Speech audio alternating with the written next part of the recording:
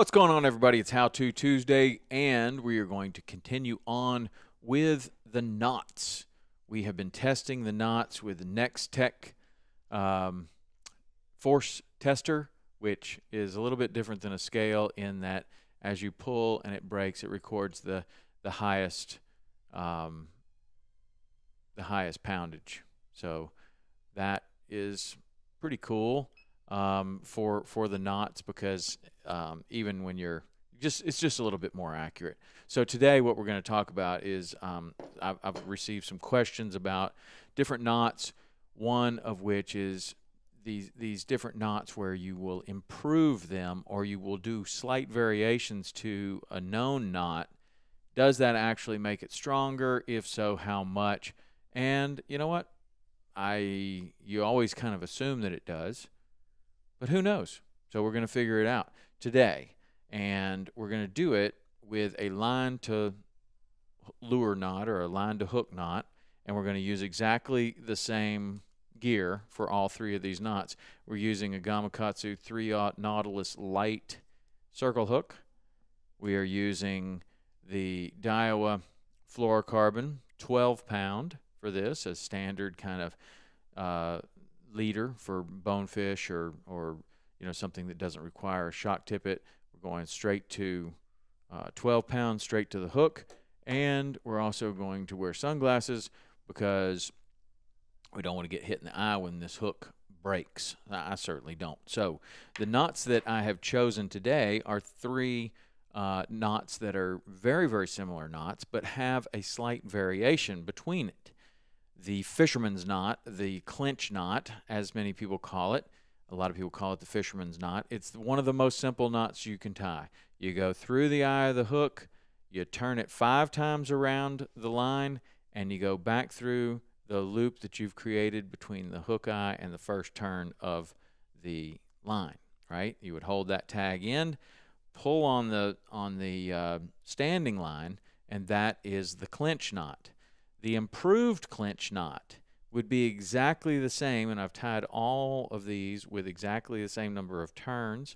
The improved clinch, you go through the eye of the hook, you turn five times around, you go through that first initial gap that you make when you create a, a, little little loop there between the hook eye and the first turn, but then you turn it back and go through the loop that has been created as you come off the top turn to go through the bottom. So you you tuck it back through one more time.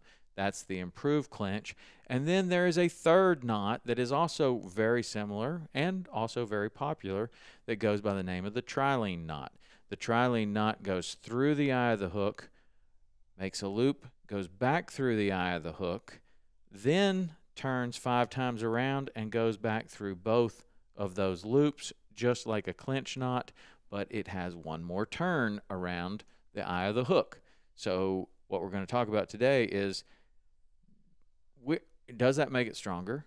Which one's the strongest? And can an extra little turn really make a big difference. So I'm going to go ahead and put my sunglasses on.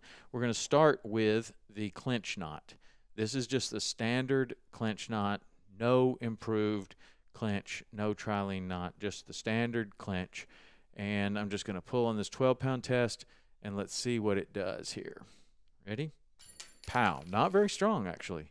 7.76 pounds. I thought maybe it would pull a little stronger. So on 12 pound test, that knot broke at 7.76 pounds. Okay, now we go to the improved clinch. Same kind of scale, same kind of same hook, same number of turns. Everything is the same. Pull on this.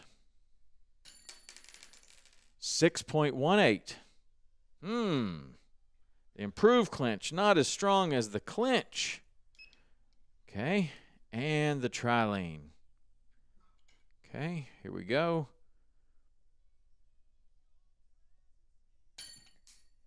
Much stronger. 10.89 pounds. Okay.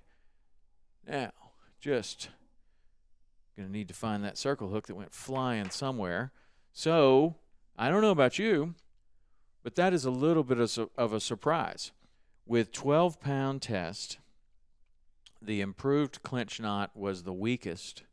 The regular clinch knot was somewhere in the middle, and the trilene knot was at 10.89 pounds, almost, or, or basically just one pound off of the line breaking strength. So, does an improvement to the knot make a difference? In some cases, yes, and in some cases, no. Right? The I would have thought that the improved clinch would have definitely been stronger than the standard clinch knot. In this case, the way I tied them right here, that was not the case. The trilene, though, with the one extra turn through the eye of the hook, was significantly stronger. So, if you're going to improve it, maybe improve it with the trilene knot rather than the improved clinch knot. Now, this is also this would be a great one for uh, trout fishing, um, because you're you're using the clinch knot, the improved clinch knot, a lot of times. Um, but in some cases, it would be very difficult to get the line to go through um, the eye of the hook on a tiny little dry fly. So maybe the trilene knot is out.